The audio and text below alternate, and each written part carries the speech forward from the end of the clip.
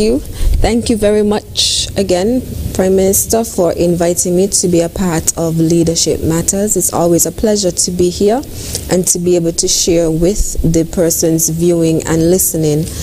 I also want to take this opportunity to thank the good people of St. Christopher III for lending me your vote on June 5th, as I would have asked, and giving me the opportunity to serve as your representative in Parliament.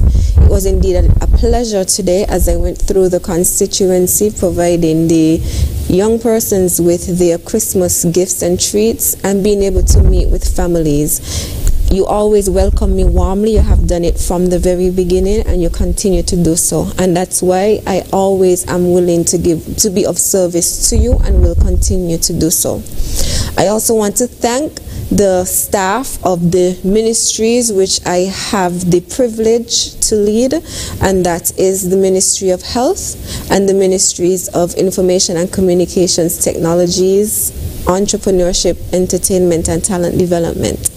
The staff everyone have welcomed me and have been been very good support over the past six months. And I am truly grateful to be able to be working with such a great team of individuals to all of our frontline workers nurses doctors and even the police officers. I want to thank you for the hard work that you continue to do in terms of the police officers, we've been asking you to go beyond just securing us and we've been asking you to operate in a new norm. Some of the times asking you to police us as we continue to work towards saving lives and we thank you for the work that you continue to do. So I would also like to thank ZIZ as well and the team at ZIZ. You guys work extremely hard, always willing to do whatever you can to make sure that the people of St. Kitts and Nevis are kept informed and up to date. At this time again, I want to take the opportunity to remind persons the protocols are in place for a reason. And as you celebrate the season, we want you to celebrate it in a new norm, remembering always to wear your mask, to wash your hands, to, to social distancing and just be able to make sure you keep yourselves, your families, your communities safe. It is about saving lives. Once we're able to save lives, then livelihoods will be maintained, livelihoods would be able to be saved as well.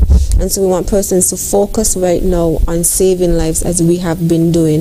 The task force have been doing an incredible job in being able to make sure that we are safe and we have to do our part. All of society approach is what worked thus far and we have to continue on that same path. Like Queenie J said, we're all in this together and once we continue to remember that we're doing this together, then we'll be able to get through this together as well. As the Prime, let's just like the Prime Minister, I too am optimistic about 2021. I do believe we'll be able to get past COVID-19 and once we do that, then we'll be able to see our economy continue to flourish and grow. We were on a path just before COVID-19 and I am optimistic that we will go we'll get back to that path that we were on and maybe even surpass it. And finally, I just want to wish everyone a very Merry Christmas. Remember the reason for the season.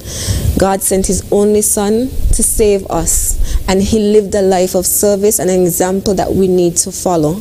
We need to be able to remember service to others just as much as we think about ourselves. We need to remember at this time to give. And as the Deputy Prime Minister said, it's not always, it doesn't always have to be monetary. We can give of our time. We could just give a listening ear to someone and it means so much to them.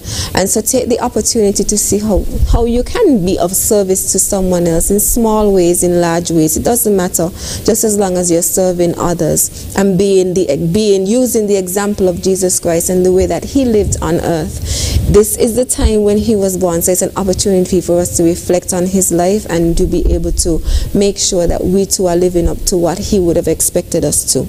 And so with those few words, I say a very, very Merry Christmas to everyone viewing. I look forward to seeing you in 2021. I look forward to being here with you in 2021 as we continue to share with you what our team unity government continues to bring to St. Kitts and Nevis and where we to take St. Kitts and Nevis in 2021 and beyond. So Merry Christmas to everyone.